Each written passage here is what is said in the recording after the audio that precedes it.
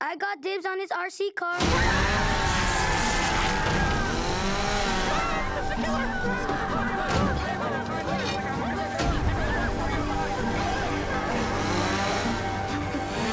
Don't kill me, don't kill me, don't kill me, please don't kill me.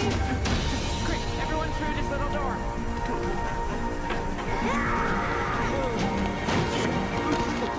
I did not sign up for this. Beep boop, beep beep boop. Hey Sandy, what's going on? Oh, I'm just standing outside looking at some stars. No, I'm sure nothing will happen, even though I am all by myself.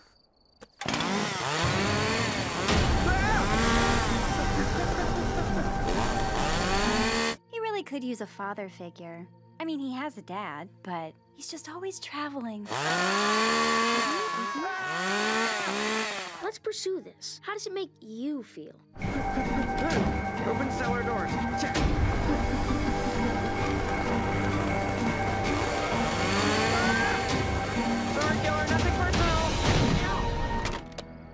Belson, what about just having a great sleepover? Hmm. Nah, I want to keep my stuff. Hey, hey, hey! Can't go that. We gotta keep away. Hurry, hurry, hurry!